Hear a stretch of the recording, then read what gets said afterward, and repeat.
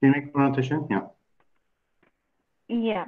So um, this is for the students in the beginning. Um, let's talk about the European uh, Masters in Management program. So Masters in Management is a postgraduate business program aimed at providing advanced general management knowledge to graduates. Now, you can apply for an MIM no matter what field of study you've studied before. Um, and it is often tailored to help you get familiar with key aspects of the business world, like um, I know most of you here already have an idea of what we are talking about, but this is for the few that uh, have just joined the webinar to know more about the MIM programs. All right. So the features of the European MIM programs are they're mostly internationally oriented, and uh, it started in Europe, and now uh, US has US, Canada, UK, and several countries in Asia have also started offering the program. 85% uh, of all worldwide masters in management programs are offered in Europe and most of the uh, courses are taught in English. Now, you do not require a, lo a, lot of work experience to join the program. This is the greatest advantage that you have, uh, unlike an MBA where you need at least uh, five to eight years of experience generally. So, uh, and most of these students who apply to an MIM have less than one year of work experience, which is usually an internship. And uh, the best part about this is this is completely affordable for everybody. This is cheaper than most other business programs like the MBA. So what are the admission requirements? Simple, a previous degree, often a bachelor's degree. Uh, then uh, you have the GMAT or the GRE.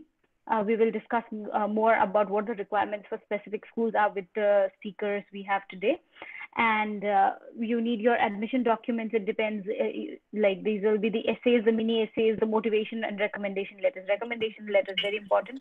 Uh, you could either have the essays, mini essays, or the motivation letter, or the uh, statement of purpose. Uh, and then finally, you need proof of English proficiency, uh, the TOEFL or the IELTS. Um, I would also like to ask if there are other ways of fulfilling this English proficiency because in current times, uh, I, I heard that US is also accepting Duolingo, so we will talk about that. Now, rankings per 2020 Financial Times, uh, University of St. Gallen comes at number one, HEC Paris at two, and ESSEC Business School at three. Now, please note that all the schools have their own particular type of namings, so you might get confused when you go through uh, various school websites and then find, oh, this is uh, this is completely different from an MIM. Please do not get confused. Um, again, similarly, 2021 rankings for uh, the MIM from QS is HEC Paris is at one, London Business School is at two, and ESSEC Business School is at number three. Now, our speakers today, Eleanor from HEC Paris is the recruitment manager at HEC Paris, and she is she she holds a master in management strategy from the University of Paris Dauphine. Um, Sonia, who has joined us from ESSEC Business School, is a senior manager at ESSEC uh, Business Development, and she holds a BA in Art and Business Administration. So Alexandra is our former student. I think she's an incoming student at INSEAD mm -hmm. who graduated from ESSEC Business School with a BBA last year. Uh, and uh, finally, Anand, we some of us have met him before. He's a GMAT tutor from India. He's the founder and CEO of Anand Learning Academy. Last we have Dr. Hubert Silly, who is our founder and CEO at MBA Center, and he's a test prep expert, and he's also the creator of events like the MBA Events World Tour, even Business School World Series, this, this edition that we're, we're talking about. So yeah, uh, I hope uh, I have managed to introduce everyone. So let's get into it. Our first speaker today, I think, is um, Eleanor. So hi. Yes, hi everyone. Uh, is it possible to share some slides? Yeah, of course. Yeah, definitely. Okay. So I'm just going to share with you. Um, so you, Eleanor, so you work with uh, Nicolas Houzé, huh? You, you are working for Galeries Lafayette. Yeah, I was working for. Uh, He's a good friend of mine, and he, he was my student. He was my student. Okay. so I'm just trying to share my. Um, so can you show it works, Karishma? So you have to to share your screen. Uh, okay, the, Can you see my screen? Yeah. yeah, yeah. Okay. Well, yeah. um, hi everyone. So I'm Eleonore. I'm recruitment manager at HEC Paris. Uh, so I'm really here to be. Happy, I'm really happy to be here with you um, to uh, present the master in management that we have at HEC.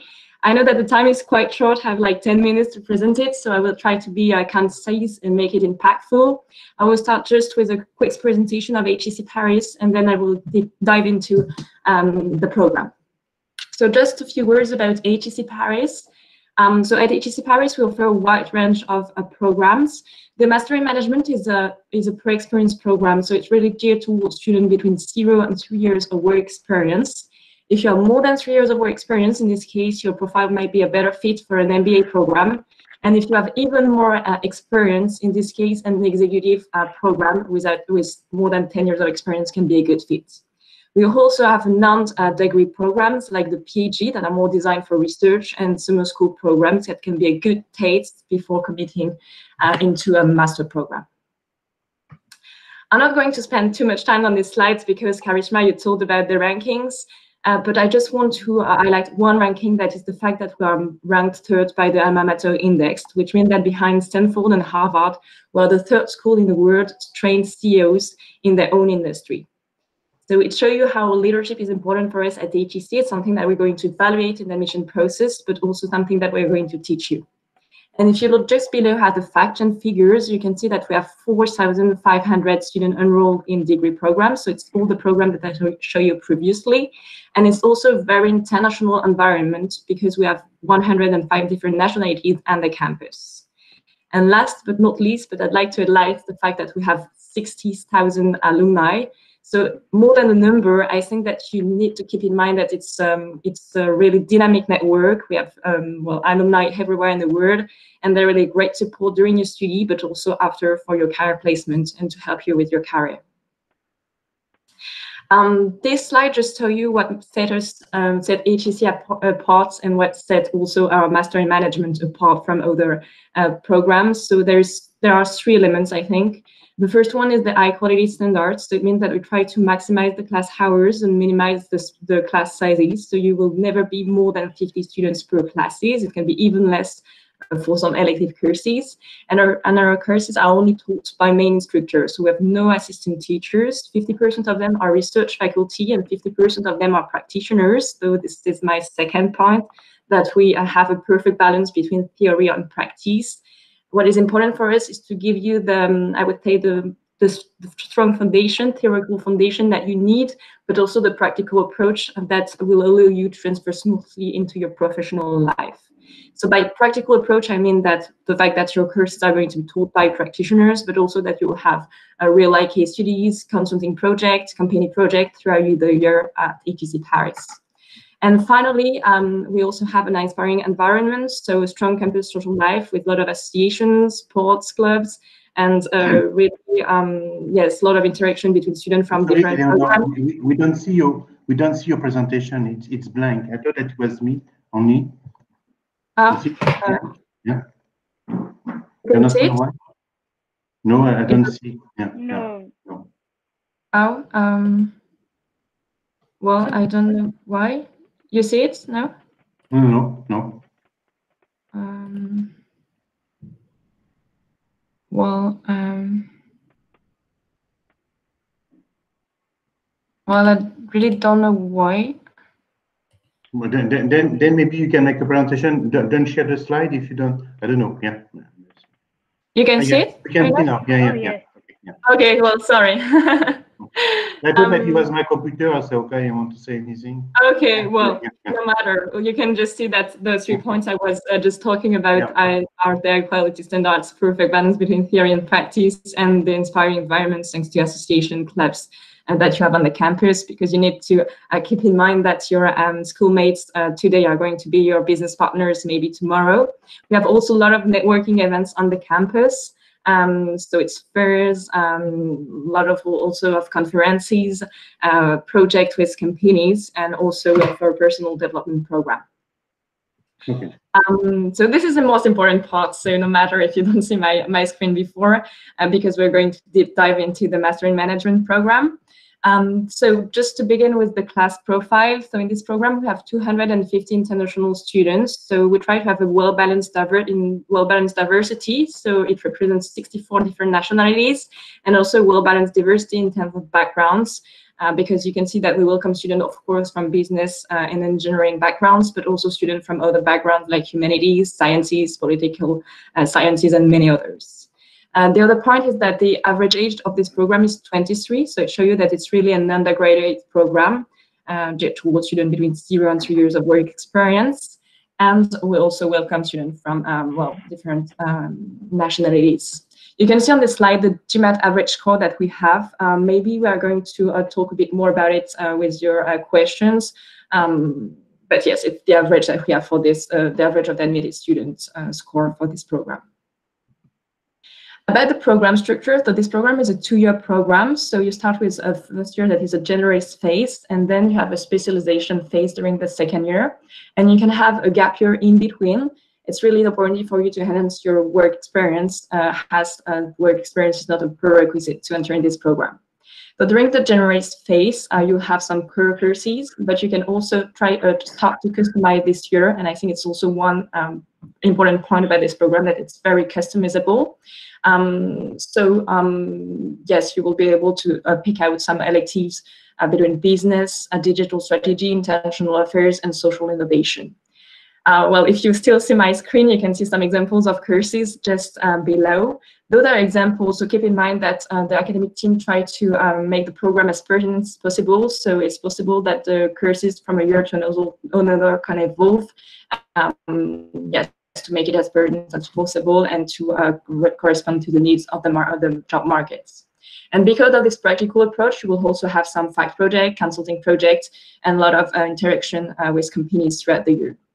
Then during the second year, the specialization phase, you will have the, the different options. You can choose to stay at HEC Paris. In this case, uh, you can pick one of our specializations. So you can get specialized in strategic management, in finance, marketing, sustainability, and social innovation, and um, many others. Or you can choose to do a double degree with one of our partner university. In this case, you will have a degree from HEC, a diploma from HEC, and a diploma from the partner university.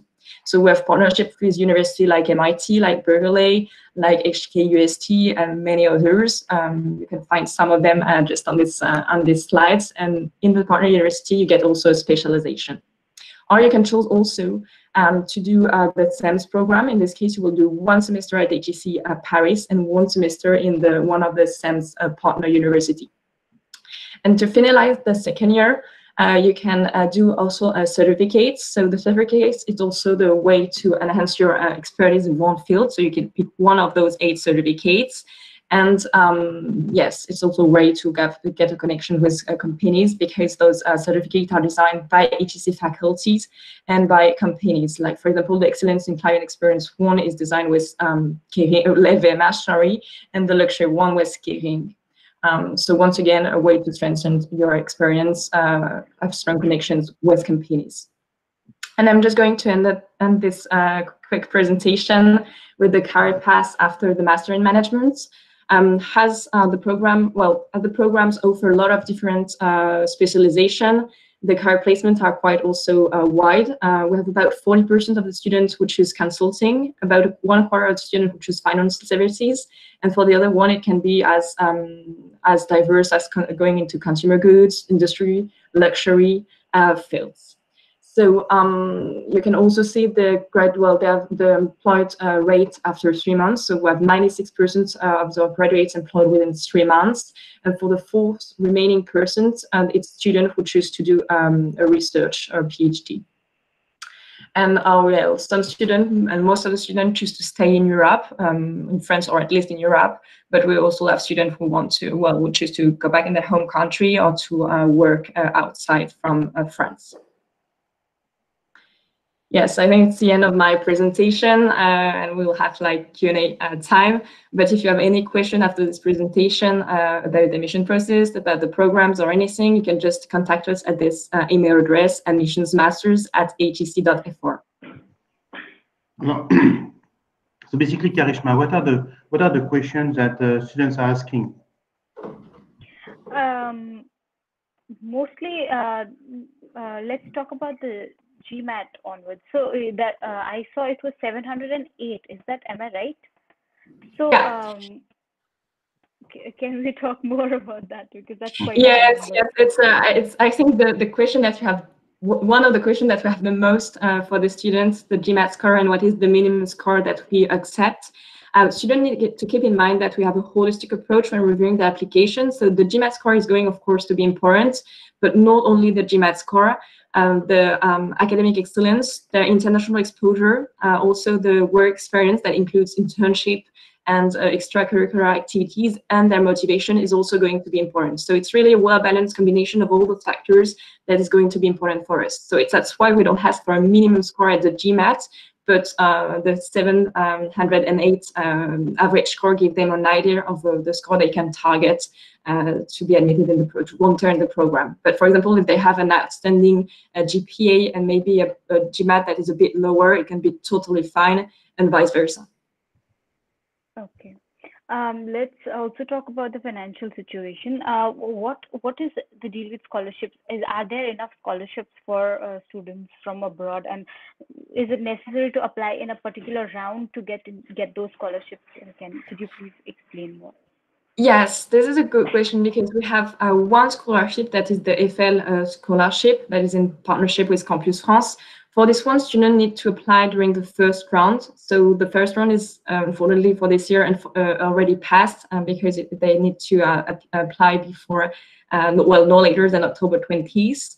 Uh, but we have also other uh, scholarship program, and the main one is the HEC Foundation scholarship.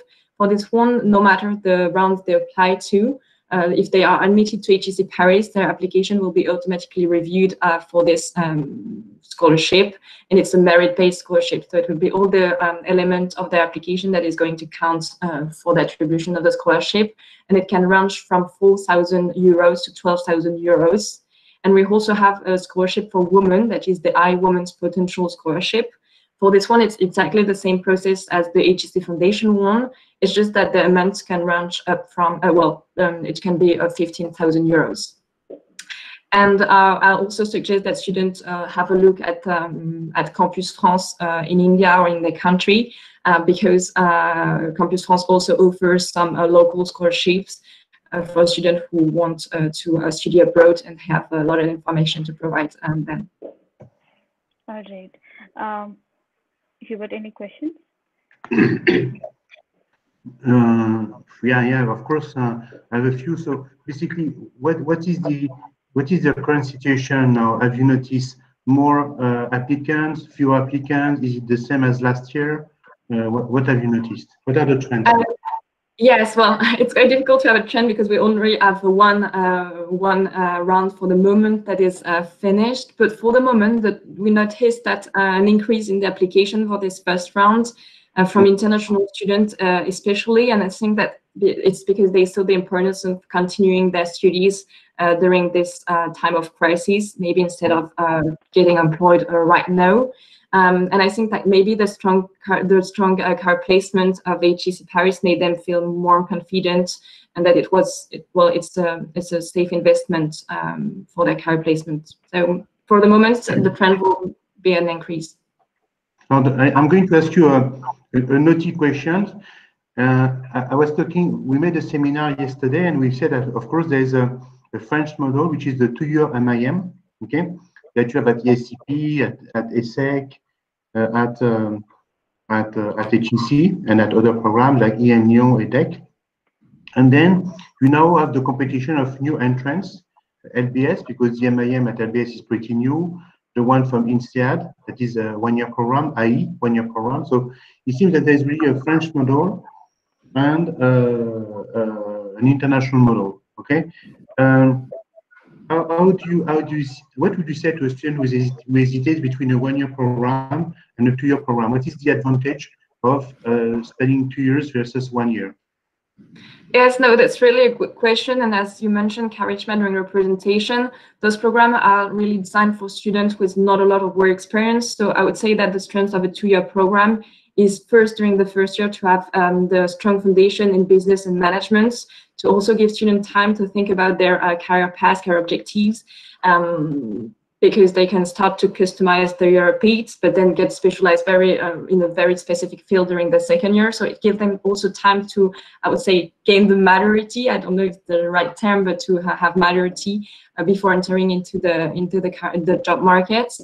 And also, um, it's also the opportunity to have a gap year in between, and the gap year is quite important for a student to enhance their professional experience, uh, to enhance also their networks. So I think that it's quite um, well. It's, the two-year program is quite complete uh, with a generalist and visualization phase. All right. Okay, Um, There there, there are a few questions from students. So can you talk more about the application deadlines for this year, I guess? Yes, uh, well, we have four application deadlines uh, throughout the years. So the first one was uh, no later than October 20th, and for the second one, for example, it's January the 6th. Um, so students need to submit the application no later than one of those deadlines that they can find also on the on the website.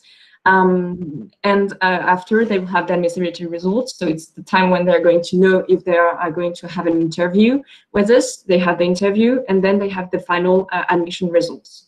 Um, what also students keep in mind need to keep in mind is that they need to apply when their application is the strongest. So with the with the strongest GMAT score, with the strongest uh, element uh, that I mentioned uh, previously, uh, because well, at each passing rounds, the number of um, seats decrease, but we will all, we will have um, seats uh, in all the fourth rounds. So really apply when your application is the strongest.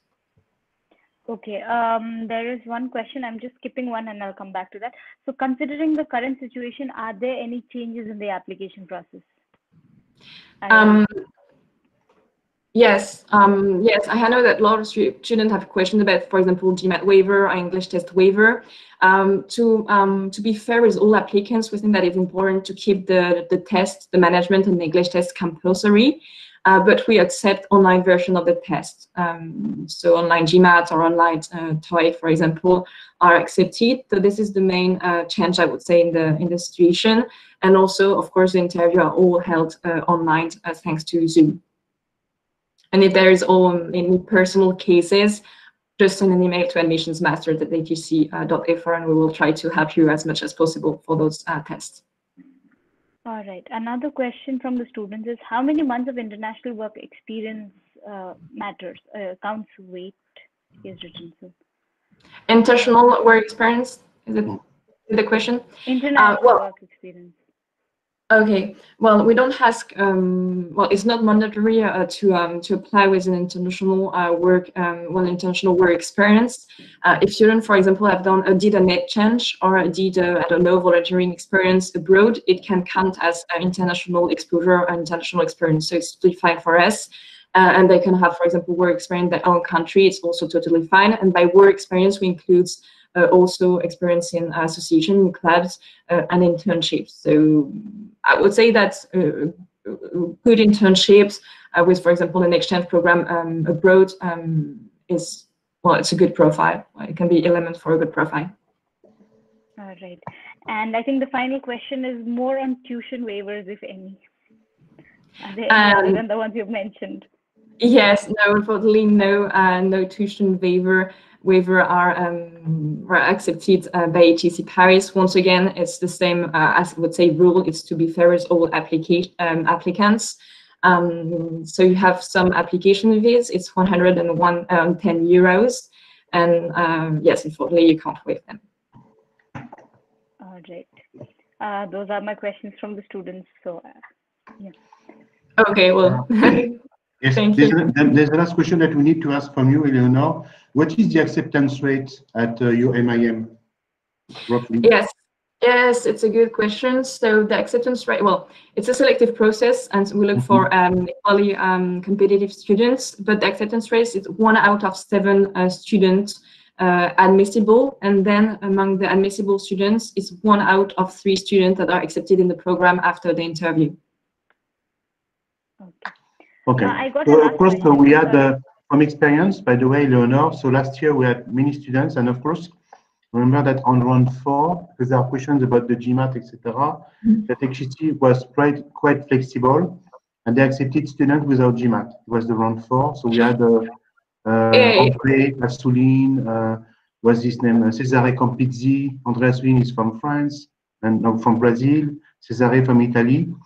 And, and they, they can be pretty flexible, but of course they were outstanding candidates. And there are other ways of selecting candidates through their uh, grades, their, their degree, uh, their, uh, their, their uh, what the, the rest Yeah. one was uh, from uh, McKinsey. Uh, Yeah. No, this is, this is a good question because last year, uh, due to the well, the start of the of the pandemic, uh, we were not quite used to the system. It was the beginning of the online GMAT. There was some Mhm. issue with uh, online version for some countries. So uh, for the last rounds, we accept students uh, without the GMAT or without the GRE, but we don't want uh, to make it as like um, a rule. And it was just very. Um, it was just because it was the start of the pandemic and we know that uh, at the moment there are um, possibilities to have the the GMAT or the GRE uh, by any other way. So that's why it was like this la- last year, but not uh, for this year. Okay, Uh, so thank you very much, uh, Eleonore. So probably this year, from the All MDS and Enter network, there will be something like 50 students from us who will apply to HEC. And we expect to have about uh, 10 admits, something like that, 10 admits. Well, yes, okay. We're looking forward to reading the application in this case. okay, perfect. And they, if they have any questions, they can just email us at admissionsmasters course. at HEC. So basically what We're we're going to do now, yeah, you know, we're going to send you uh, the list of the students who have applied with their CV. Huh? You receive Cool. that this week, and then you can, uh, we send you a lot of information on, on the Excel file. Okay. let you know, by the way, we are launching a system called Outreach, whereby it's a sort of private uh, LinkedIn, whereby you can see the, the, the, the, the CV of the student, a bit like LinkedIn. And also the student has, a- has, a, has a rating, so you can see from the rating uh, where he stands. Huh? Well. And so it's a, Okay, a very useful system using uh, big data and artificial intelligence. Now, now only big data, but soon artificial intelligence as well. Okay? Thank you very much, Eleanor. Thank, you. Thank you. Sonia from uh, from ESSEC. Okay. Hello. Hello. Yeah. Hello. Can you So hear Sonia, me? You basically you're based in Singapore, from what I understand. Yeah. Are you based in Singapore? So you Right, work right. Singapore ESSEC campus. So by, Yes, I do. can, uh, by- we are very glad to to meet you. So same thing for ESSEC. We have the demands for the MIM, but also a lot for the MIF. Mhm. Last year we had about five students who got accepted to the to the to your MIF, and they are very happy. Students from from uh, from Lebanon, students from from uh, so from Italy, from, from Spain, etc. So there is there is uh, and also uh, a lot of students who did the the master with Supelec, I believe. In um, so there is the central Supelec in data science, and Yep, also yep. master with Supelec, I believe, in entrepreneurship. Huh? Something like that. Okay. Uh, if you can present uh, yourself and, and also the, the if you can make a presentation of ESSEC. Sure. Perfect. Well, um, thank you, everyone. Nice to meet you all, and happy Diwali to those who celebrate. Um, uh, yes, I based in Singapore, so I based in the Singapore campus in ESSEC, uh, but I do uh, handle both um, campus applications. So for students that actually mostly for from Southeast, Southeast Asia that I manage those applications, but happy to uh, you know talk about the MIM programs or the MIF or data science if there's any questions about those. Let me uh, quickly share my presentation here. And wait, Bottom right.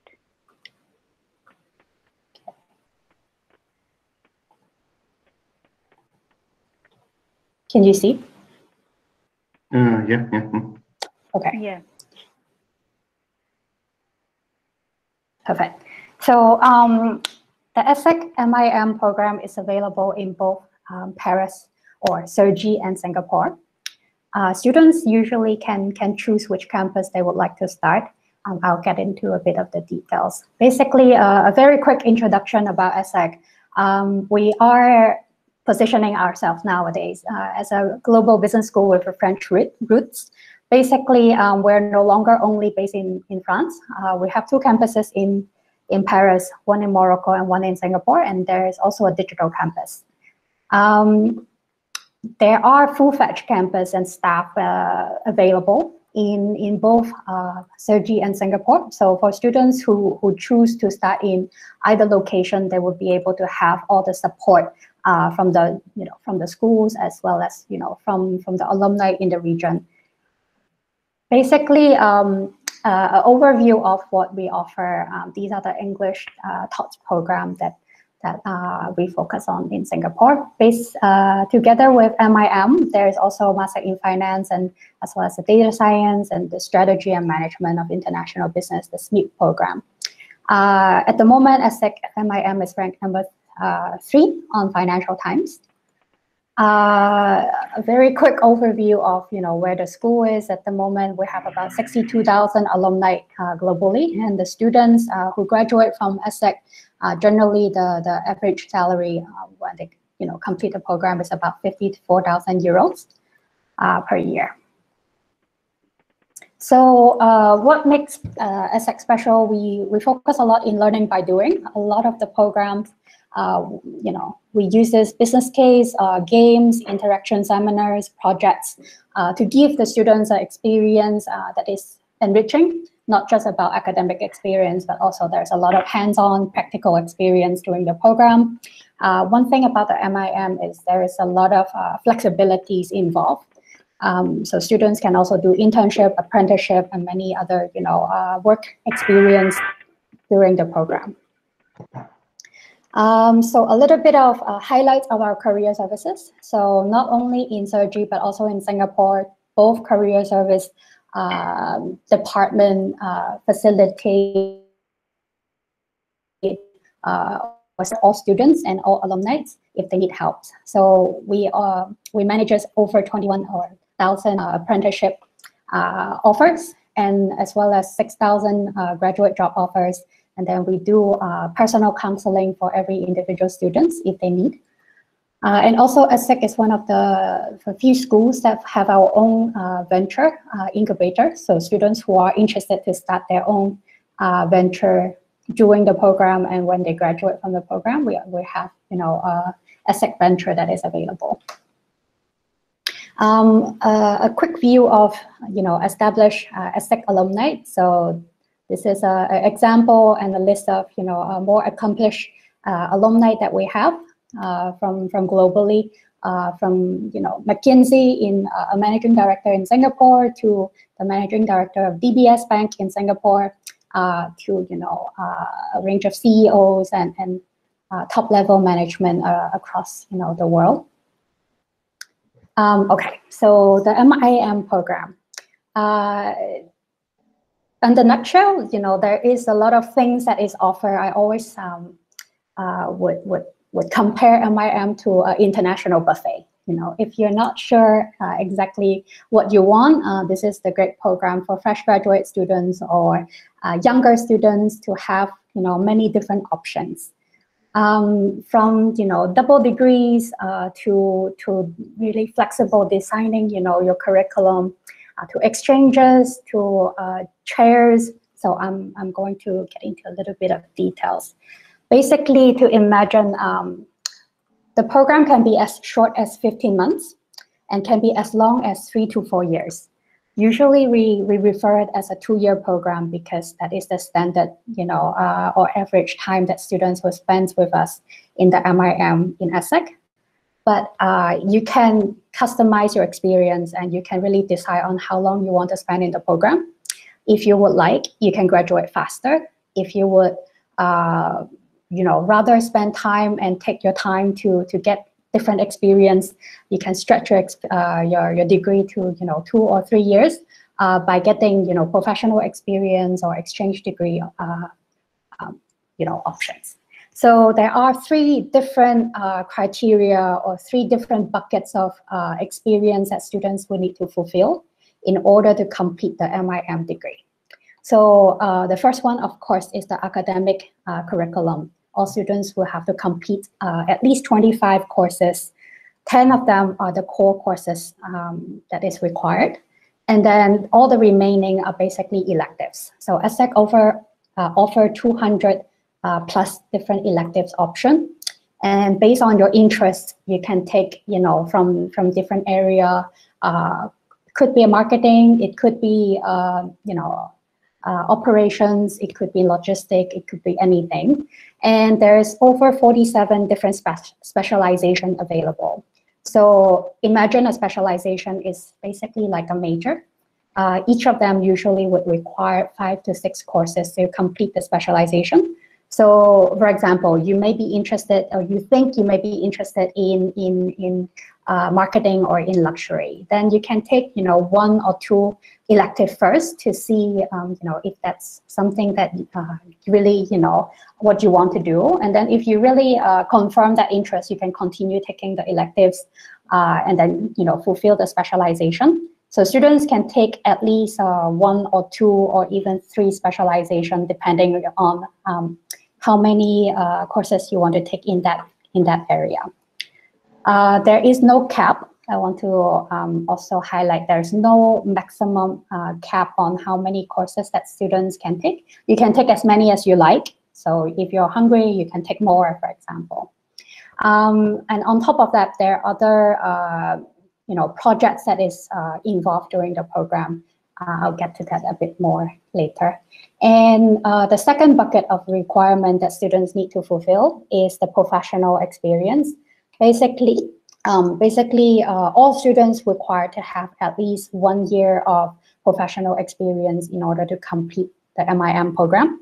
So imagine if uh, a fresh graduate student completing their bachelor degree and join ESSEC right away for the MIM, then they will need to have at least 12 months of uh, work experience before they can graduate from uh, MIM. So it can be an internship, it can be an apprenticeship, it can be uh, many different uh, way to, to fulfill this. Uh, and the order to um, collect these experience is also up to you as a student. So one thing about ESSEC MIM is really flexible. The last thing is, of course, you know, the international experience. But for most uh, international students, meaning you're non-French student, uh, this criteria is pretty much already, you know, fulfilled. Um, most students who spend time in both Singapore and France campus, uh, there is option to, to do exchange or double degree also if you like to, um, you know, explore different countries, uh, but it's not a requirement anymore. So during this uh, MIM or the master experience, basically um, what we require is when you apply, uh, the students will have to start the first nine to 10 months in the campus that you apply. It could be Singapore, it could be uh, Cergy in France. Um, in Singapore, because we are much smaller, so the courses are packaged together meaning that students will be able to fulfill all the core courses that is required, and then they would have at least one of the specialization, um, you know, complete during that first 10 months of the uh, 10 months period. So the tracks that we offer in uh, the Singapore campus, for example, are the business management in Asia, corporate finance, fintech, or innovation, entrepreneurship, and sustainability. However, if students are choosing to start in France, basically you will have a number of uh, credits that you can bid for the course that you like, and it's really flexible, and there's no uh, criteria on you know how how you would like to do that. Um, so for the first you know nine to ten months, you'll be based in your home campus, the first campus that when you apply. Afterwards, students will have the option to, for example, start an internship or um, they would like to, if they would like to start an exchange program, uh, ESSEC has over 105 exchange partners, uh, including oh, University of Melbourne, uh, UBC in Canada, or Tsinghua University in China, uh, or you know LBS in, in UK or Berkeley or Cornell, for example.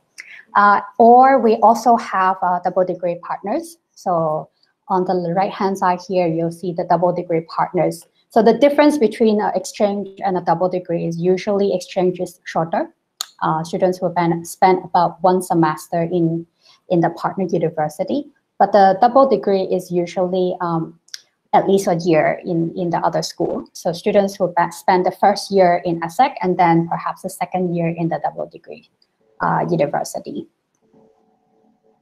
So going back to, to the curriculum, after the first academic year, like the first nine to 10 months, um, then students will have the option to either um, stay in the same campus or um, they can swap to you know the other uh, country. So from Singapore to France or from France to Singapore, or they can start an internship uh, or you know uh, apprenticeship as well, uh, as well as they can do an exchange or double degree.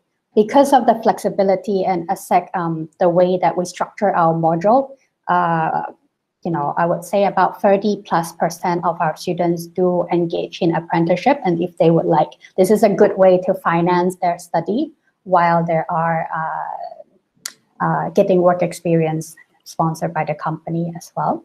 So uh, other, other than that, there are, you know, uh, corporate projects that we um, design for the students. And um, there are, for example, the junior consultant experience or the Asia strategy consultant project that uh, we work with companies directly, for example, uh, L'Oreal or Johnson & Johnson uh, or Capgemini, then students engage with them uh, to, to do consulting projects as soon as they enter the program. And there's something I would like to also highlight is um, has a concept of chairs. Basically, uh, students um, these are company sponsored research projects. So if you, uh, I'm not quite sure, you know, what particular industry or, or area of focus that you would like to pursue, the chairs are a very good way for students to understand, you know, the, um, that, that industry better. So for example, example, have a chair with uh, LVMH. So for students who want to get into the luxury market, then they can do a LVMH chair. It is taken as an elective for six months. Students will be working directly with the company uh, to understand, you know, how how the you know the company is operating or how that uh, specific uh, industry, you know, the insight of that.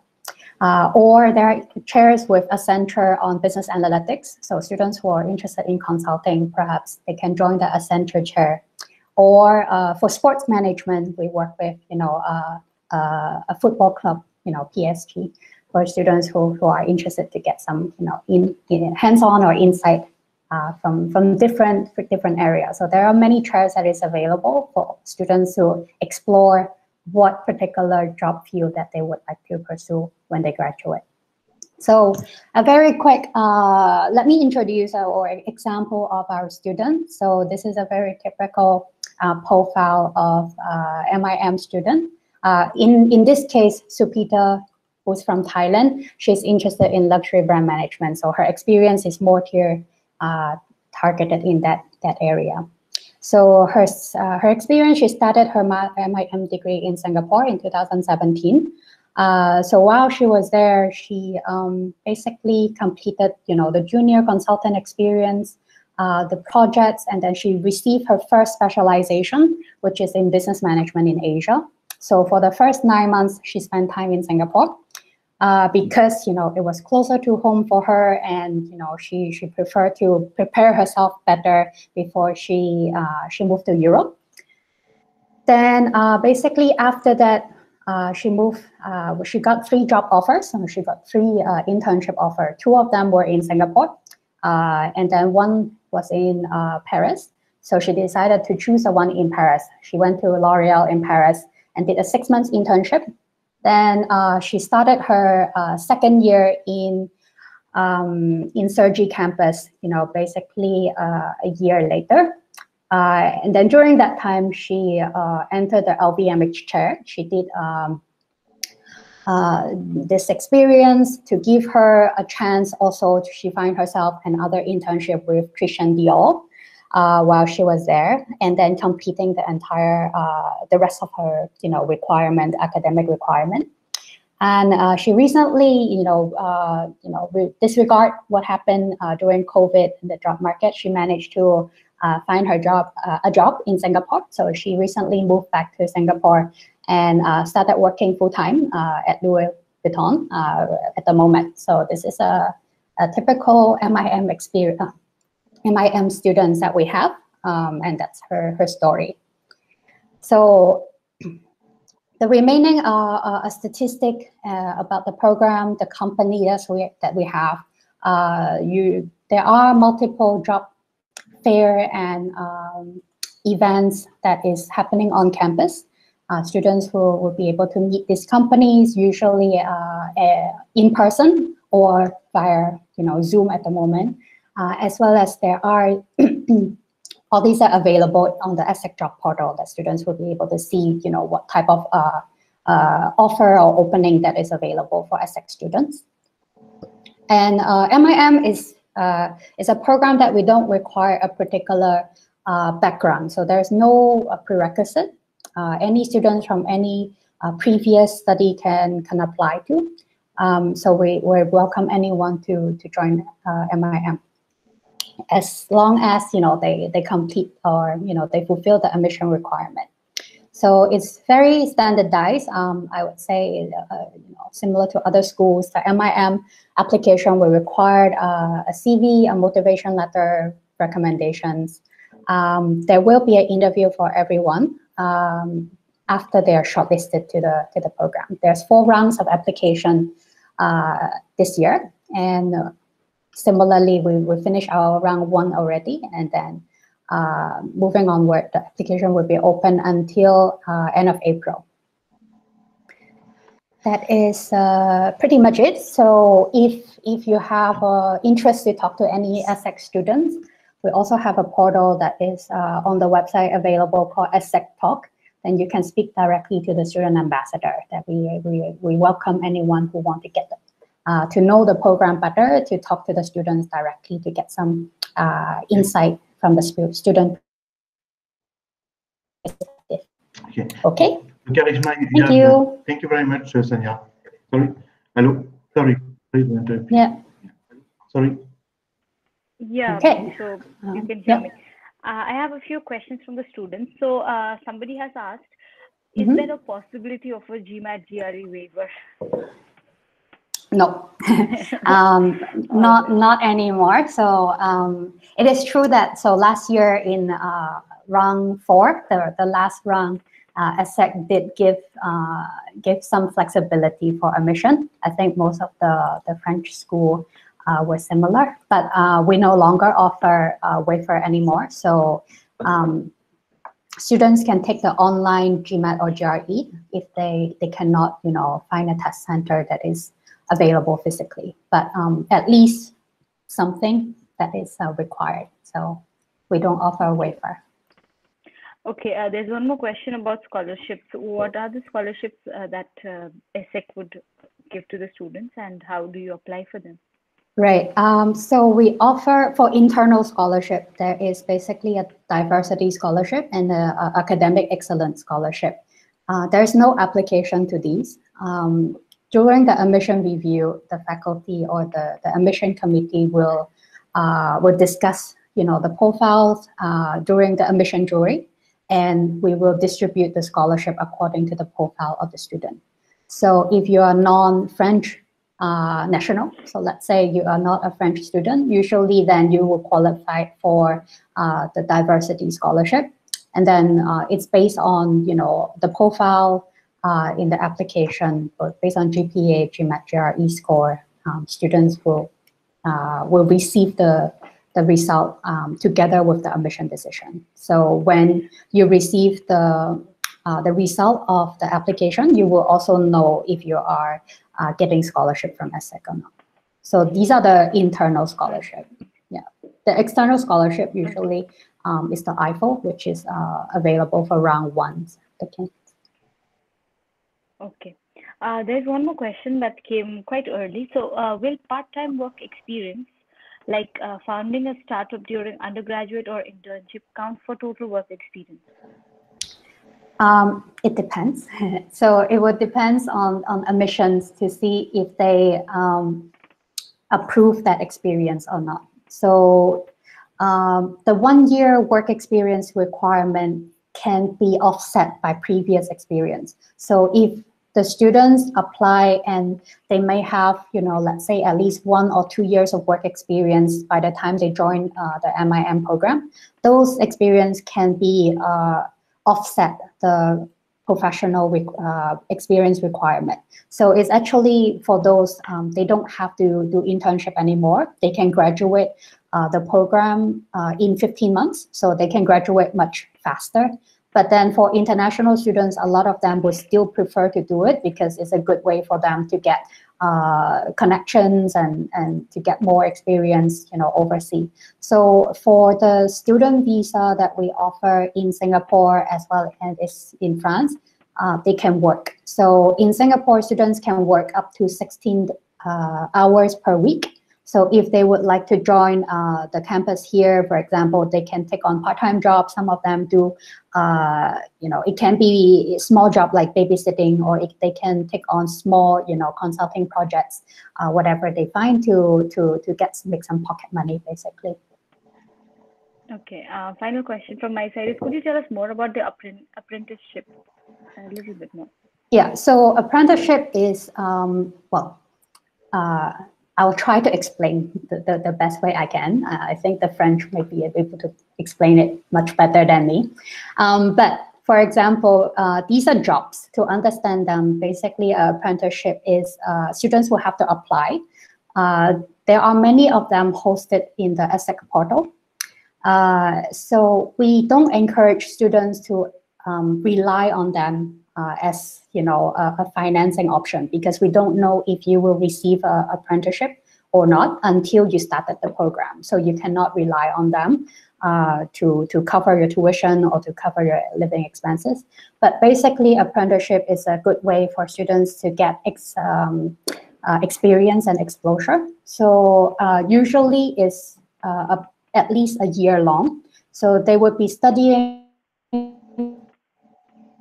working at the same time or depends on the arrangement with the company. They can do it, uh, for example, um, three months studying and then three months working and three months studying, three months working. So it, it depends on the company and, and the arrangement of the company. But then they do need to commit about a year in total in working in these French companies.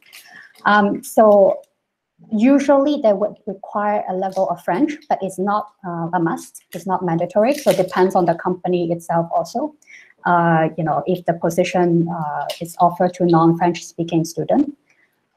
Uh, so the, the best part of uh, apprenticeship is once you are offered a position, for example, then the company will be paying for the tuition fee. So students will get refund back to them their, their entire tuition fee. And then on top of that, they get a monthly uh, salary. So it's a great way to, to get experience and also to you know to to get financing support uh, by the company. But of course, you know it is a, a there is opportunity cost. You know, if you decided to do that, usually they will have to stretch uh, the program to you know three years or or even longer because they will have to fulfill all the uh, academic requirement and then you know on top of that they are doing you know this this you know uh, work experience so the you know the opportunity cost is they cannot start working. You know they cannot start their full time job uh, as quickly as as their classmates. So it's something to to consider if, if it is a good uh, you know option for for the student. So uh, do do host all those information in the ESSEC portal. So it's for for all students, including international students, um, you know, to to apply for the apprenticeship. Yes, so yeah. Um, explain the apprenticeship very well. So it's a way for you to to work and study at the same time. It's a bit like a part-time MBA uh, somehow, where you work and you study. The only question that I have is that I don't know if you're a non-European student. Yes. Uh, if you can get if you can get a visa, uh, if your visa allows you to to, to work as much as required? Maybe yes, maybe no. I, I have no idea. Uh, yes, uh, for for now, it is very common also for ESSEC students to get apprenticeship, and because the way that the program is so flexible, so um, we do have a lot of international students do uh, you know get uh, get apprenticeship. So the student visa that we offer will will you know will will enable the students to, to do that. Um, it's just like a, any internship or part-time job uh, that they may get uh, during their study.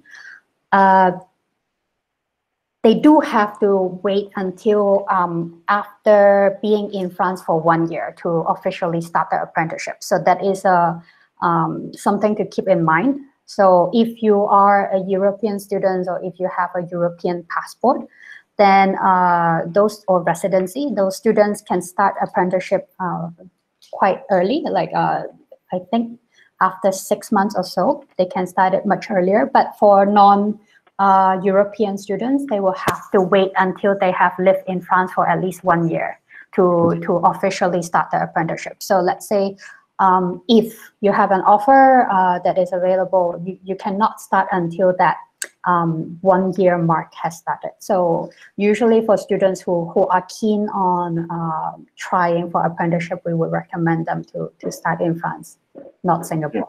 So, so that, so that uh, Indian students understand, so you have mm -hmm. to see that uh, your uh, French companies, companies based in France, because they can be Chinese or Indian, they pay mm -hmm. a mm-hmm. certain tax. Uh, there's a tax on, on uh, training, okay? And basically, uh, it's all called a PCA, and then it means that the the ESSEC will receive money from from the state somehow, okay? From it's the Ministry of Labor that manage that. So ESSEC will receive money from that, and for the company, they will pay you. You get something like 1,200, 1,300 euros, which is very good money. And, but of course, cost of living in France is, is quite expensive. And companies, they are tax, there is a tax exemption, so they, have, they don't have to pay any social tax on that. Okay. So of course, it's a good way for them to get a very bright person from ESSEC at a very low cost, and it doesn't cost them a lot of money because I may wonder, probably some Indian students may say, but how is it possible to get uh, 50,000 a year uh, there? Because part is paid by French tax, and the other part is paid by the company that is uh, that has tax exemption on social uh, social tax. And that's why it's very uh, interesting for the student and also very interesting for the company. Okay. Um, so yes, let's come back to that. Uh, since we have you see on this conference you have many African and Europe and Indian students, a great majority of Indian students. It's also a great advantage of the two-year program. Can you mention, for instance, at HEC, the gap year? How does it work, the gap year? What is a gap year? And is it common or not common at HEC, Leonor? Um, yes, the gap year is uh, very common at HEC because um, of this practical approach during the first year. Um, the, the students really want to enhance their work experience during this gap year. The gap year is, is uh, well, it's quite flexible. The student can choose to do, for example, two internships of six months, or they can also choose to work on a personal project. For example, they have the uh, a project of uh, launching a, a startup. They can do it also during their uh, gap year and they can also do internship abroad. So it's really flexible. I have example, for example, of a student uh, who started uh, with a consulting um, internship in Dubai, and then uh, he, do, he did a New York and internship internship with finance. So it's really a way to just explore some fields um, and to uh, yes, straighten your career objectives, and your network, and enhance your work experience.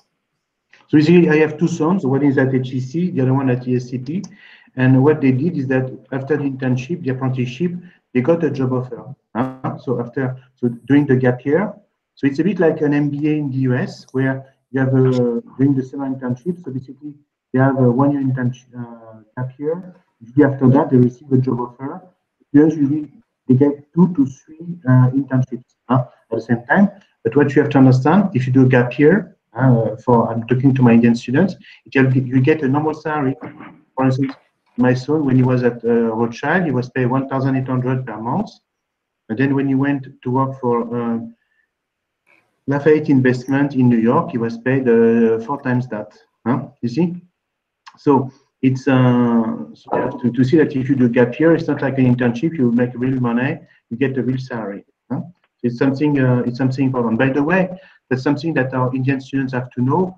If you get accepted to such schools, financing is not an issue. Okay. Now, Sonia, how do students finance, especially from India, how do they finance their studies? You have some statistics, some research on that? Uh, how does it work? Um, I don't have the statistic with me, uh, but basically, ESSEC has scholarship available, and there's also Prodigy Finance, which is a student loan that is, I know, quite common for, for Indian students. So if uh, you are admitted in, in uh, into ESSEC, for example, you can apply to this Prodigy loan. Um, it will cover 80% uh, of your tuition fee and part of your living expenses as well. So obviously, uh, we are not affiliated, you know, by no means that ESSEC is working with them, but all ESSEC students, or I know a lot of universities are also working for, you know, um, a part of their uh, the list. Um, so, so any students from these uh, schools um, who are entering this program will, will be able to apply for uh, a student loan to to pursue their study. So that's usually a, a common financing option. And then, of course, there's also small jobs like part-time jobs uh, that is available. They can work on campus uh, if they like, or they can find, you know, small uh, part-time jobs outside of campus also. Okay. There's another question that I want to ask to ask you. So it's for Eleanor. So can you tell us what are what is the famous PSB? So how does it work when you're a non-European community student?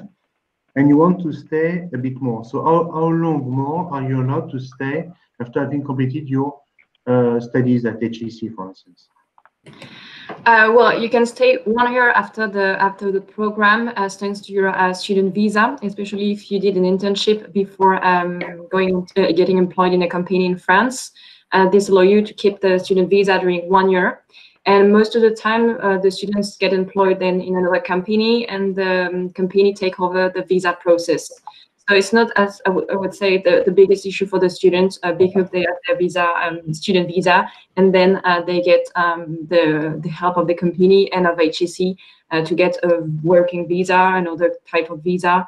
Uh, there is a lot of different visa um, available for um, for students um, graduating from business schools um, according also to your um, major, according to um, the fact that if you want, for example, to launch a company, um, but who will provide you support in any case for the visa. Okay, so what is very important, what our Indian students have to understand is that basically you have, you have three options. Either you decide to go back to India, which of course would be a bit stupid because you should take advantage that you're in Europe to stay in Europe or uh, stay in Singapore. And then basically the second, of course, the most optimistic option is that you get a job offer and then uh, it's done. Hence the advantage of the summer internship and maybe the apprenticeship or the gap year, because of course, if you have an apprenticeship or a gap year, you're almost certain to receive a job offer. Okay. And if it doesn't it doesn't work, what you can do is you can uh, use you can go to see an employer. Okay and uh, you can uh, say to the employer that anyway uh, you'll be exempt visa free for a year so they can hire you. Then you, you leave the company enough time to test you. And after after six months if it works well then they will start the visa process. Okay? Uh, and you have to understand that if you're ESSEC or INSEAD or HEC graduate yes of course they are somehow affected by the current crisis but of course, this type of graduates are highly in demand. Okay, you have to understand that when companies are facing problems, they need they need the best to work with them. They need the best, the most intelligent, the most motivated. Huh? Okay, uh, and uh, that's usually they do. Huh? Yeah, perfectly seen my company. Uh, the the you see, even even when, when you're in this difficult time like now for any small and medium sized business, even for the big ones, you, you need the best in your company. Huh? Okay, the those who are going to have problems are people who are less performing. The those who perform well, they should be more problem. Okay. So now, well, we couldn't get INSEAD today, so we asked um, Alexandra to come. So Alexandra was my student. Huh? Okay. She's by the way, she's an ESSEC BBA graduate to start with, so she went to ESSEC, and she got accepted to INSEAD. So can you tell me more about your background because you have an unusual nationality? Okay, I'm sure that most Indian students they don't even know where to put your country on, on, on the map. Huh? Okay? But you speak many languages.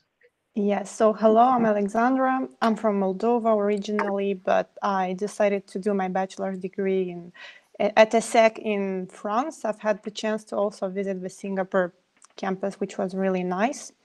And afterwards, I decided to continue my studies with the MIM program. Um, I was Hubert's student, so we applied for LBS, HEC, um, St. Gallen, and INSEAD, and eventually I selected INSEAD um, for, uh, for personal preferences. Um, the process went uh, very well. It was a very thorough discussion about uh, the career plans that I envisage after the master's. Um, also, uh, the different uh, structures of the programs, because as you know, HEC and ESSEC, for instance, have these two-year programs, whereas LBS and INSEAD are very fast-paced uh, courses, uh, programs that um, last for about 10 months. Um, I've also had the opportunity to visit the INSEAD campus, and I really liked uh, the atmosphere and uh, the diversity of the uh, professors and the students, and eventually decided to um, pursue my studies uh, there. I was supposed to be part of uh, the Pioneer um, promotion. So I was supposed to start this year actually, but I deferred uh, due to the pandemic. Um, and uh, I also got accepted to LBS. Um, when I had uh, these two acceptance letters, I stopped the process with St. Gallen and yeah, HEC rejected me. Okay, yeah. So, so, so, so we see, uh, we see that, uh, uh, we see uh, how it works. Um, so basically, Alessandra, you know you have already a BBA from ESSEC, which Yes. is of course uh, a great degree. Where have you decided to to continue studies in, for a master for a master's? Because I know that you took a, a gap year before starting INSEAD, and you're working for KPMG or Ernst Young. No, um, I'm currently working for Deloitte, but I'm in the process with some consulting firms. So Mm. starting from next week, I'm going to be in the process. Um, I don't want Mhm. to say too many things, but I think it's going to be an asset on my CV and it's going to give me the possibility to actually uh, secure and even better internship after INSEAD because as we all know, or you might not know, but actually the new MIM program was uh, created by MBB. Uh, so they were very involved in designing the curriculum, and I currently have friends who are doing the MIM, and they are very impressed by the academic level, which is super intense, and they're learning a lot. Mhm. Um, so um, yeah, I'm actually switching slowly towards consulting, and I want to work in this industry, and I genuinely think that INSEAD is gonna help me secure that. Um, due to the knowledge that I'm gonna get and also the network, which is very valuable. But Deloitte, it's already you work in audit more than, than in consulting. Yeah. I Uh, I currently work in audit, but I Mm. I want to work in consulting. Yeah, but because Deloitte, it could be consulting as well. Huh? Yeah. yeah, but it's a different kind of consulting, and the the level I of prestige is also different, and this uh, lear- learning curve as well. You get to learn way more at MBB rather than Deloitte. Yeah, of course, I, I I understand. Um, so, uh, how long did you? Uh, so, how long did you take for the process? How long did it take uh, to prepare the GMAT, application? Um, so to be completely honest, I started preparing the GMAT pretty well in advance when I was doing my internship after the third year. So um, it took me actually six months, but I prepared it um, by myself. So I didn't know Hubert um, by then. So I, I actually tried all the different uh, resources possible. I've tried Manhattan, Kaplan, I've tried some French uh, GMAT tutors. Um, I've tried Veritas Prep, and it took me quite a, a long time. Uh, I actually took the GMAT twice. Um, and uh, overall, it took me six months to prepare the GMAT. And afterwards, I started the application process in January. Um, and I applied for the third round. So basically, I started receiving my, my admission offers in April. Okay. So, and what, what did you find most difficult in the process? Um, well, for me, GMAT was quite stressful, but as well, uh, the difficult part was actually choosing among the choices that I had because in the beginning, I actually wanted to do St. Gallen because I've seen the rankings and it, it was the best in uh, strategy and international management. But then when I visited INSEAD um, and I've seen the potential that the, that the program has, I actually changed my mind. So uh, the choice was really tough because all of the programs that I applied to were really good. Mm, and I really had to think about uh, which one uh, to choose depending on my career path and yeah. By the way, last year we got about 10 students accepted to INSEAD and only two chose the program, okay? Uh, so basically, of course, the, the program has a lot of strengths. At the same time, you have to see that INSEAD is a super costly program and you have no apprenticeship possible. And they have an internship, but the internship is at, at the end of the program, okay? Uh, and the other problem that you have with INSEAD, the program is still not ranked, okay? It's true that now there's a fierce competition. That's something, by the way, we had a, a meeting with uh, the team yesterday, and we see that now the growth is in the MIM. Of course, the French business school like HEC, ESSEC, ESCP are very well equipped for that because it is what we call the Grand École program. So there's there's a long tradition, okay? And we have been lucky that this MIM develops, okay? Because for a long time, the MIM was not something that we could sell internationally. Okay, and of course we have seen a source. So now look, uh, we have 20 students from India for uh, meeting on on somehow French on French MIMs, even though ESSEC or INSEAD have campuses outside France, they are still originally uh, with French roots. And so that's that's the point that we still have. So tell me, there, there was no issue with with the cost and with the the program structure, the one-year program was it an issue or not for you? Oh, well, it is an issue and I still don't know how I'm going to solve it. But uh, you have financing opportunities, you have brand capital, and you have uh, Prodigy Finance. Hmm. Uh, so I don't think, I mean, in terms of cost, if you compare it to uh, ESSEC or AHEC, for instance, um, it's, it's pretty much the same because you have to um, pay for two years. I mean, the cost of living, you have to um, to to spend money for two years while you're studying, and I think in the end it's more or less the same. Mm-hmm. Okay, it's a it's an important uh, it's an important thing to see because um, finding an apprenticeship it's not impossible, but if you don't speak French fluently, it's quite difficult. It's quite competitive to secure an apprenticeship. So I wouldn't recommend relying on that. It depends, but you can learn French. For instance, I have many of my students from uh, Delhi who are attending Alliance Française courses. Mm -hmm. So mm-hmm. they expect to be like B2 before starting, and then they want to increase to C1 uh, after one or two years, which is, it's a great, uh, we have many Indian students at the Alliance Française in Delhi. Okay, I don't know if they have classes or online, but they go. So tell me, what, what is what was the admission process at INSEAD? So what was uh, is it is it comparable to the one that we have seen with ESSEC or HEC? Was it a bit different? Um, I would say it was more or less the same, but there are still quite uh, some differences because they really want to see you as a diverse candidate, and they want they don't put that much stress on your academic performance compared to the other uh, two schools, which are very academic performance oriented.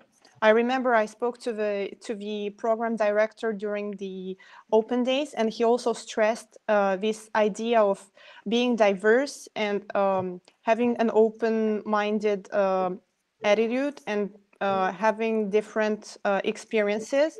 Uh, for instance, um, right now, my friends who are doing actually the MIM um, have a super diverse class. Uh, they have people who have done uh, social sciences, um, people who have done even drama. So the program is really uh, focused on diversity. Uh, you really had to to show that you are a well-rounded candidate and uh, that uh, you have been you have you have international exposure because in the end INSEAD is the business school for the world uh, so it, it doesn't have, for instance, as they said during the open days, this cultural dominance of uh, different students. They try to make sure that um, the cohort is as diverse as possible. So there is no dominant culture that you tend to observe in the other business schools. For instance, when I was at ESSEC, um, there are uh, there are Asian students and Indian students um, predominantly uh, from the international student cohort, whereas at INSEAD, they make sure that uh, the cohort is really uh, well balanced from that standpoint. Yeah. Tell me, Eleanor, I see that you did not really agree, and I cannot really agree as well because I have lots of students who have been accepted to HEC um, who uh, had good grades, but were not like, uh, obviously they have not been selected for the grades. So what, what is what is your what is your policy with, with, with the grade? Is there a no-go or where up to where are you ready to go with the student? Well, it's a bit like the, the GMAT exam or the management test exam. We don't um, ask for a minimum grade.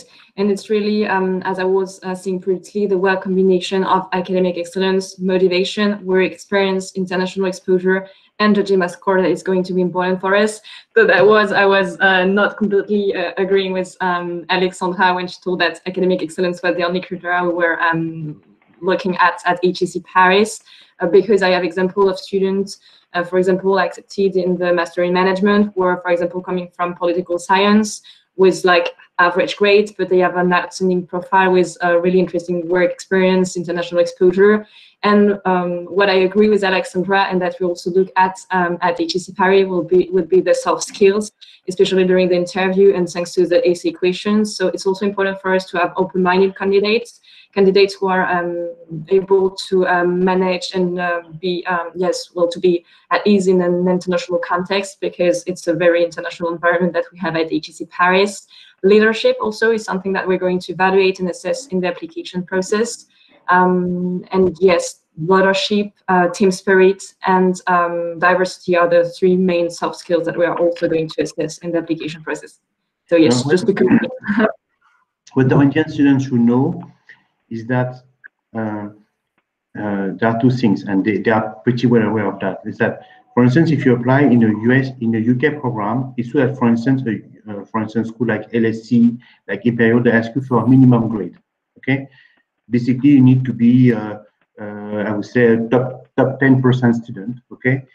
Uh, so basically, even if you have great leadership, great international exposure, you cannot get into in, LSE or uh, or Imperial College. Okay, so for instance, I had students who uh, who didn't have the grades to even apply to these schools. Okay, and who got uh, LBS or INSEAD or other schools that are present here. So basically, I can say from the outside that these schools are pretty open-minded because probably, I don't know if they will agree, but the GMAT compensates a lot. Imagine that you're, uh, you're so-so student because you are involved in many extracurricular activities, you love sport, you love drama, etc.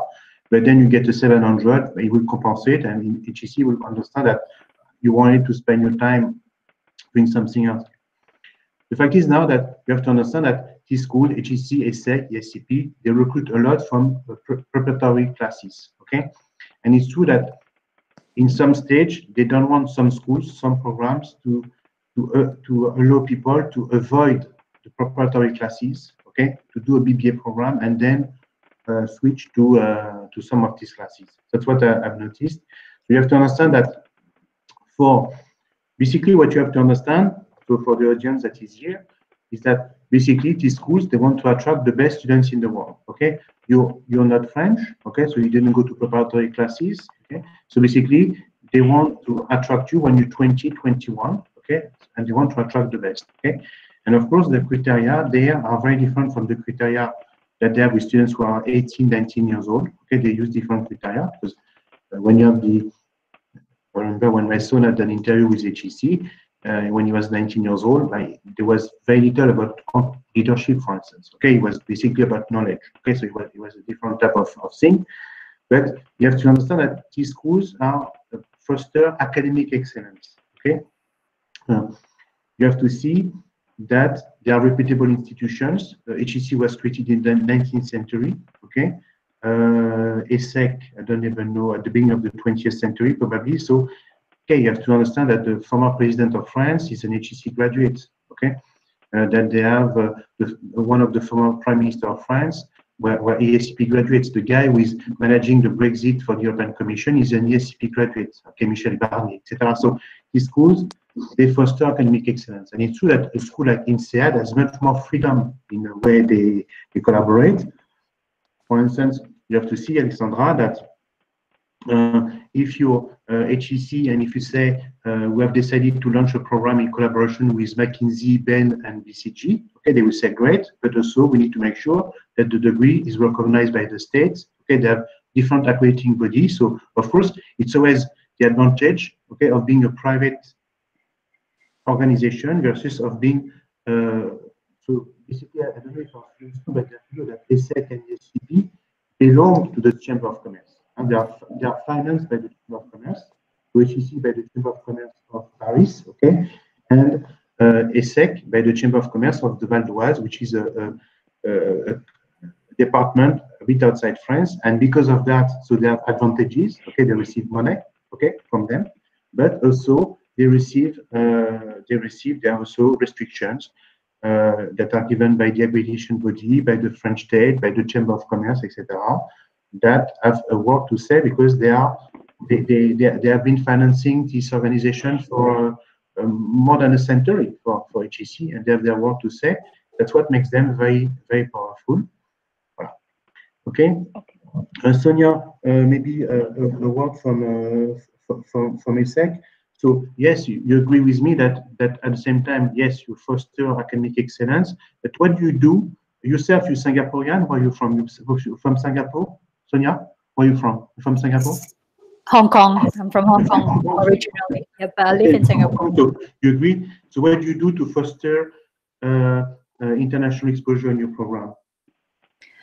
Um, well, living in Singapore is, is actually a very international experience itself. Uh, of course, um, the, the the student body, right? Um, I would say they, they do have a lot of uh, among students, they, they definitely have a very diverse group um, itself that they they have to work together on projects and you know they, they a lot of time cannot choose their own teammates you know the faculty will assign uh, and force different nationality to work together for example in a lot of these uh, consulting projects that that is part of the program um, and then for, for international exposure, there is a study trip that is pretty much involved in uh, part of every program, MIM uh, and other, you know, finance or data science program. They go outside of the campus. You know, uh, in Singapore, they go to Hong Kong or New York uh, for finance. For example, for MIM, they also went to Hong Kong and sometimes they go to Shanghai to meet with uh, companies and ESSEC alumni. So what we do is we usually uh, will select a committee of students and then we give them the alumni uh, contact information or the corporate uh, partners that we have. And then students reach out to these companies directly and to schedule the visit. So also a chance for them to you know connect with uh, these companies uh, personally and and to arrange a visit. Uh, so having a physical campus uh, in Singapore, that's that's what we do, and also you know in, same as in in France. So they do the study trip, um, go outside of uh, Paris, and they, they meet you know different uh, companies and and organization to to get to know what they do, and also to you know meet the alumni in those regions usually. Okay, very good. And also what you have to see, Alexandra, you know that I did my, my master and my PhD after having graduated from École Normale Supérieure. I did my master and my PhD at Harvard. And when I was at Harvard, there were lots of Americans. And I can tell you that at the beginning, I didn't feel very, well, the, the, even though they said they are very international, it was not that international. There are many guys from Boston, many Americans. So I, have, I had probably the same feeling as when you arrive. It's always true that when you have a school that has roots somewhere, and Harvard has roots in America, ESSEC has roots in in in, uh, in France, and so is is HEC, that you're going to, to come in a school that has roots, which is not the case of uh, of INSEAD, which is a purely international school. So of course, it's a very different approach. But I think that at the same time, uh, you can hear from my accent, uh, you my Indian students, that I'm French. So you're going to come in a nice country, one of the greatest countries in the world. Uh, with quality of life. Uh, French are, I believe, kind people, relatively intelligent, educated. I live in Belgium now, and I can see the difference. So probably say that Belgians are probably kinder in some way, but you will not have the same uh, um, quality of exchange. Huh? Uh, French are fond of arts, politics as well. So if you want to go, huh? so it's also good to go in a country. For instance, me, if I decide to study at ISB or IIT, I also want to experience India. You understand? I don't want to be in a place that is like a, a sort of Disneyland with no roots, no identity. Huh? Okay. So I want to be in a place that has an identity. If I want, if I decide to study at, I don't know, in China, I want to feel that I'm in China as well. If I study, when I went to study, uh, when I went to Harvard myself, I wanted to be in America. I didn't want to be in a place. I didn't want to be like a place like INSEAD that has no uh, identity, no cultural identity. I wanted to be in America. Imagine that Indian students want to come here. They also want to learn French. You see, uh, uh, Alexandra many students who are learning French. They also want to live in Europe. They also want to have their roots in Europe somehow.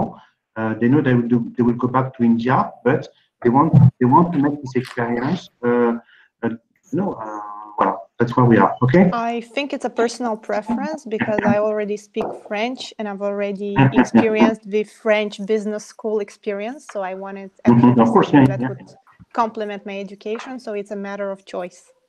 Yeah, but what I want to say is that you see a lot of students who are who come to study in Europe, they also want to experience Europe and they also want to experience something real. So uh, I have a, a student wants to experience Italy because she loves Italy. Other students wants to experience Germany because they want to live there. Okay, so you have it's important to talk of internationalism, but at the same time, when you come to HEC or ESSEC, and if you study at ESSEC Cergy Pontoise or uh, HEC Paris, you will also have something, you'll be in a very international atmosphere, but something with, with roots as well, with, with an history, with, with, a, no, with, with a culture, with an identity. And uh, this identity is one of the strongest identity that we have in Europe with the British one and with the German one.